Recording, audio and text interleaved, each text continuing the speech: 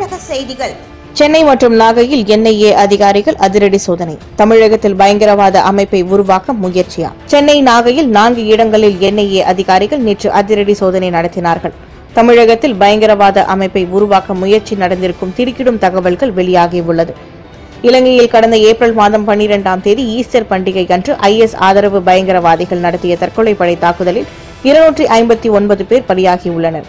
இந்த தாக்குதலுக்கு மூளையாக செயல்பட்ட ஆசிம் என்ற பயங்கரவாதியுடன் கேரளாவில் உள்ள ஒரு அமைப்பைச் சேர்ந்து நான்கு இளைஞர்கள் வாட்ஸ்அப் மூலம் தொடர்பில் இருந்தது. என்ஐஏ அதிகாரிகளின் விசாரணையில் தெரியவந்தது இலங்கையை போன்று இந்தியாவிலும் தாக்குதல் நடத்துவதற்கான வியூகங்கள் வகுக்கப்பட்டு அதிர்ச்சி தகவலும் வெளியானது. இதனையடுத்து அவர்கள் கைது செய்யப்பட்டனர். இந்நிலையில் இந்தியாவில் உள்ள ஐஎஸ் ஆதரவாளர்கள் நடமாட்டத்தை கண்காணித்து அவர்கள் மீது நடவடிக்கை எடுக்க வேண்டும் என்று என்ஐஏ அதிகாரிகளுக்கு மத்திய உளவு பிரிவு எச்சரிக்கை விடுத்தது. இதைத் தொடர்ந்து பான் இந்தியா ஆபரேஷன் என்ற பெயரில் என்ஐஏ அதிகாரிகள் அதிரடி வேட்டையில் இறங்கினார்கள். ஹிந்தி மற்றும் ஆங்கிலத்தில் மட்டுமே தபால் துறை தேர்வு. இன்று தேர்வு எழுத இருந்தவர்கள் அதிர்ச்சி. தபால் துறை தேர்வு இன்று நடைபெறும் நிலையில் ஹிந்தி மற்றும் ஆங்கிலத்தில் மட்டுமே கேள்விகள் இருக்கும் என்று மத்திய அரசு திடீரென்று அறிவித்திருந்தது. இதனால் இன்று தேர்வு எழுத இருந்தவர்கள் அதிர்ச்சி அடைந்தனர். கிளை போஸ்ட் மாஸ்டர் உதவி கிளை போஸ்ட் மாஸ்டர் என பல்வேறு பணிகளுக்கு அறிவிப்பு வெளியிட்டிருந்தது. இந்த வாய்ப்புகளை தமிழக இளைஞர்கள் பயன்படுத்திக் கொள்ளுமாறு தெரிவிக்கப்பட்டிருந்தது. அதன்படி இந்த தேர்வுக்கு தமிழகத்தில் இருந்து ஏராளமானோர் விண்ணப்பித்திருந்தனர். தேர்வு இன்று நடைபெறும் நிலையில் தபால் துறை தேர்வு வினாத்தாள்கள் இந்தி மற்றும் ஆங்கிலத்தில் மட்டுமே வழங்கப்படும் என மத்திய அரசு அறிவித்துள்ளது. இந்த அறிவிப்பை அறிந்த தேர்வுக்கு விண்ணப்பித்திருந்த இளைஞர்கள் அதிர்ச்சி அடைந்துள்ளதுடன் ஏற்கனவே இருந்து வந்த நடைமுறையில் மாநில மொழியில் வினாத்தாள்கள் வழங்க வேண்டும் என்று கோரிக்கை விடுத்துள்ளனர். நெல்லையப்பர் கோவில் தேரோட்டம் இன்று தொடங்கியது. வரலாற்று சிறப்புமிக்க நெல்லையப்பர் கோவிலில் ஆணி திருவிழா ஒவ்வொரு ஆண்டும் பத்து நாட்கள் சிறப்பாக கொண்டாடப்படும். இந்த ஆண்டுக்கான திருவிழா கடந்த ஆறாம் தேதி கொடியேற்றத்துடன் தொடங்கி தொடர்ந்து தினமும் சுவாமி அம்பாளுக்கு சிறப்பு பூஜைகளும் வீதி உலாக்களும் கலை நிகழ்ச்சிகளும் நடந்து வருகின்றன. எட்டாம் திருநாளான நேற்று காலை ஏழு முப்பது மணிக்கு நடராஜர் வெள்ளை சாத்தியும் எட்டு முப்பது மணிக்கு பச்சை சாத்தியும் வீதி உலா வருதல் நடந்தது. இந்நிலையில் நெல்லையப்பர் கோவில் தேரோட்டம் இன்று காலை தொடங்கியது. இந்த நிகழ்ச்சியில் அமைச்சர்கள் எம்பிக்கள் எம்எல்ஏக்கள் உள்ளிட்ட முக்கிய பிரமுகர்கள் கலந்து கொண்டு சிறப்பித்தனர். நெல்லையப்பர் கோவில் தேரோட்டத்தை காண சுற்றுவட்டார பகுதியைச் சேர்ந்தவர்கள் மற்றும் வெளி மாவட்டங்களைச் சேர்ந்த பக்தர்களும் வருகை தந்துள்ளனர். நெல்லையப்பர் கோவில் தேரோட்டத்தையொட்டி அந்த பகுதியில் போக்குவரத்து மாற்றம் செய்யப்பட்டுள்ளது. தேரோட்டத்தையொட்டி நெல்லை மாநகர போலீஸ் கமிஷனர் பாஸ்கரன் துணை கமிஷனர் சரவணன் ஆகியோர் நேரடி பார்வையில் பலத்த போலீஸ் பாதுகாப்பு போடப்பட்டுள்ளது. இது தவிர நான்கு ரத வீதிகளிலும் கண்காணிப்பு கேமராக்கள் அமைக்கப்பட்டு தேரோட்ட நிகழ்ச்சிகளை கண்காணிக்க ஏற்பாடு செய்யப்பட்டுள்ளது.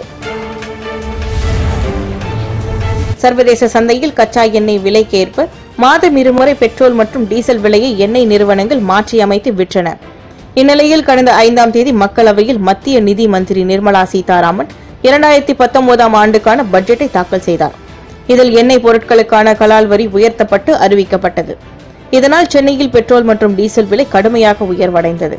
இதன்படி சென்னையில் கடந்த ஆறாம் தேதி பெட்ரோல் விலை லிட்டருக்கு ஒன்றுக்கு ரூபாய் இரண்டு புள்ளி ஐம்பத்தி ஏழு உயர்ந்து ரூபாய் எழுபத்தி ஐந்து புள்ளி எழுபத்தி ஆறுக்கும் டீசல் விலை ரூபாய் இரண்டு புள்ளி ஐம்பத்தி ரெண்டு உயர்ந்து ரூபாய் எழுபது புள்ளி நாற்பத்தி எட்டுக்கும் விற்பனை செய்யப்பட்டது. இந்நிலையில் சென்னையில் இன்று பெட்ரோல் விலை பத்தொன்பது காசுகள் உயர்ந்து ரூபாய் எழுபத்தைந்து புள்ளி எண்பத்தி ஒன்பதுக்கு விற்பனை செய்யப்படுகிறது. டீசல் விலை மூன்று நாளாக மாற்றமின்றி ரூபாய் அறுபத்தி ஒன்பது புள்ளி தொண்ணூத்தி ஆறுக்கு விற்பனை செய்யப்பட்டு வருகிறது. செய்திகள். ஓட்டு போடுவதை கட்டாயமாக்க ஒன்பது ஆண்டுகளுக்கு முன்பே முயன்ற மோடி. புதிய தகவல்கள் வெளியீடு. பிரதமர் மோடி ஒன்பது ஆண்டுகளுக்கு முன்பே ஓட்டு போடுவதை கட்டாயமாக்கும் முயற்சியில் ஈடுபட்டிருப்பது தெரியவந்தது. அவர் குஜராத் மாநிலத்தின் முதல் மந்திரியாக இருந்தபோது கடந்த இரண்டாயிரத்தி பத்தாம் ஆண்டு அம்மாநில உள்ளாட்சி தேர்தலில் ஓட்டு போடுவதை கட்டாயமாக திட்டமிட்டார். ஆனால் அப்போது கவர்னராக இருந்த கமலா பேனிவால் அம்முயற்சியை கடுமையாக எதிர்த்தார். கருத்துரிமையையும் ஓட்டு போடாமல் இருக்கும் உரிமையையும் அளிக்கும் அரசியல் சட்டத்தின் பிரிவை மீறும் வகையில் இந்த முயற்சி இருப்பதாக கூறி அவர் முட்டுக்கட்டை போட்டார். இதனால் மோடியால் அதை செயல்படுத்த முடியவில்லை. அவர் பிரதமரான பிறகு குஜராத் முதல் மந்திரியாக அனந்தி பென் பட்டேல் பொறுப்பேற்றார். அவர் மோடியின் முயற்சியை கையில் எடுத்தார். அதன் பலனாக ஓட்டு போடுவதை கட்டாயமாக்கும் மசோதா குஜராத் சட்டசபையில் நிறைவேற்றப்பட்டது. சந்திராயன் டூ விண்கலத்திற்கான கவுண்டவுன் இன்று காலை தொடங்கியது.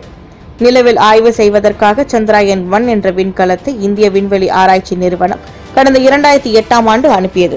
நிலவில் தண்ணீர் இருப்பதாக ஆதாரங்களை அது உறுதி செய்தது.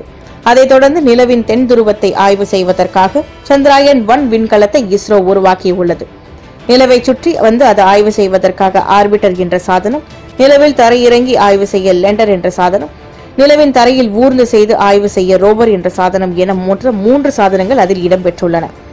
இந்த மூன்று சாதனங்களிலும் அதிநவீன கேமராக்களும் எக்ஸ்ரே கருவிகள் வெப்பநிலை ஆய்வு செய்யும் கருவிகள் லேசர் தொழில்நுட்பம் செயல்படும் கருவிகள் என பதிமூன்று கருவிகள் இணைக்கப்பட்டுள்ளன. சந்திராயன் டூ விண்கலம் ஆந்திர மாநிலம் ஸ்ரீஹரிகோட்டாவில் உள்ள சதீஷ் தவான் ஏவுதளத்தில் இருந்து விண்ணில் செலுத்தப்படுகிறது. இந்தியாவின் கனமான ராக்கெட்டான ஜிஎஸ்எல்வி மார்க் த்ரீ ராக்கெட் மூலம் விண்ணில் ஏவப்படுகிறது. நாளை அதிகாலை இரண்டு புள்ளி ஐம்பத்தி ஒரு மணிக்கு சந்திராயன் டூ விண்ணில் பாய்கிறது. அதற்கான இருபது மணி நேர கவுண்டவுன் இன்று காலை ஆறு ஐம்பத்தி ஒரு மணிக்கு தொடங்கியது. உலகச் செய்திகள். ரஷ்ய நாட்டிலிருந்து எஸ் நானூறு ஏவுகணை தொகுதி பாகங்களை வாங்குவதற்கு துருக்கி முடிவு செய்தது. இதை அமெரிக்கா எதிர்க்கின்றது. ரஷ்யாவிடம் இருந்து எஸ் நானூறு ஏவுகணை தொகுதி பாகங்களை துருக்கி வாங்கினால் அந்த நாட்டின் மீதான பொருளாதார தடை விதிப்போம் என அமெரிக்கா பகிரங்கமாக எச்சரிக்கை விடுத்தது. ஆனால் அமெரிக்காவின் நிர்பந்தத்துக்கு துருக்கி அடிபணியவில்லை. இந்த நிலையில் நேற்று முன்தினம் ரஷ்யா தனது எஸ் நானூறு ஏவுகணை தொகுதி பாகங்களை துருக்கிக்கு விநியோகம் செய்தது. நேற்று தொடர்ந்து இரண்டாவது நாளாக ரஷ்யாவின் எஸ் நானூறு ஏவுகணை தொகுதி பாகங்களை துருக்கி பெற்றுள்ளது. இது தொடர்பாக துருக்கி ராணுவ அமைச்சகம் டுவிட்டரில் வெளியிட்டுள்ள பதிவில் விமானப்படை தளத்துக்கு ரஷ்யாவின் நான்காவது சரக்கு விமானம் வந்து சேர்ந்துள்ளது என்று குறிப்பிட்டுள்ளது. இதனால் அமெரிக்காவுக்கும் துருக்கிக்கும் இடையேயான உறவில் விரிசல் ஏற்படும் சூழல் ஏற்பட்டுள்ளது. ஆப்கானிஸ்தானில் தாலிபான் தீவிரவாதிகள் ராணுவம் இடையேயான மோதல்கள் சமீப காலமாக அதிகரித்து வருகின்றன. இந்நிலையில் மூன்று மாகாணங்களில் அவர்களுக்கு அடுத்தடுத்து மோதல்கள் நடந்து வந்துள்ளன. ஜார்ஜான் மாகாணத்தை தங்கள் வசப்படுத்துவதற்காக தாலிபான் பயங்கரவாதிகள் கடும் தாக்குதலை மேற்கொண்டனர். ஆனால் ராணுவம் சரியான பதிலடி கொடுத்தது. இந்த தாக்குதலில் இருபது பயங்கரவாதிகள் கொல்லப்பட்டனர். அவர்களில் உள்ளூர் பயங்கரவாத தலைவர்களும் அடங்குவர். இதேபோன்று டக்கர் மாகாணத்தில் உள்ள தாலிபான்கள் நுழைய முயன்றபோது உள்ளூர் வாசிகளுக்கும் அவர்களுக்கும் இடையான மோதல் வெடித்தது. இந்த மோதலில் ஆறு தாலிபான் பயங்கரவாதிகள் கொல்லப்பட்டனர். பால்க் மாகாணத்தில் ராணுவ தளம் ஒன்றில் தாலிபான் பயங்கரவாதிகள் தாக்குதல் நடத்த முயற்சித்தனர். ஆனால் ராணுவத்தின் எதிர் தாக்குதல் நடத்தி அவர்களது முயற்சியை முடியடித்தனர் இதில் பதினாறு தாலிபான்கள் உயிரிழந்தனர். அடுத்தடுத்து நடந்த தாக்குதல்களில் நாற்பத்தி இரண்டு தாலிபான் பயங்கரவாதிகள் கொல்லப்பட்டிருப்பது இந்த இயக்கத்திற்கு பின்னடைவாக அமைந்துள்ளது. நேபாள நாட்டில் கடந்த சில நாட்களாக கனமழை பெய்து வருகிறது. தொடர்ந்து பெய்து வரும் கனமழையால் வெள்ளம் பெருக்கெடுத்து சாலைகளில் ஓடுகிறது வீடுகள் மற்றும் குடியிருப்புகளை வெள்ளம் சூழ்ந்துள்ளது. இதனால் பல நகரங்களில் மக்களின் இயல்பு வாழ்க்கை பாதிப்படைந்துள்ளது. பொதுமக்கள் வீடுகளை விட்டு வெளியே செல்ல முடியாத சூழ்நிலையும் எழுந்துள்ளதுங்க வெள்ளம் ஒருபுறம் இருக்க ஆங்காங்கே நிலச்சரிவுகளும் ஏற்பட்டு வருகிறது. இதனால் வெள்ளம் மற்றும் நிலச்சரிவுகளில் சிக்கியுள்ளவர்களை மீட்கும் பணியில் மீட்பு படையினர் மற்றும் காவல்துறையினர் ஈடுபட்டு வருகின்றனர். அவர்களை மீட்டு பாதுகாப்பு நிறைந்த இடங்களுக்கு கொண்டு செல்கின்றனர். நேபாளத்தில் இதுவரை வெள்ளம் மற்றும் நிலச்சரிவுகளில் சிக்கி நாற்பத்தி மூன்று பேர் உயிரிழந்துள்ளனர்.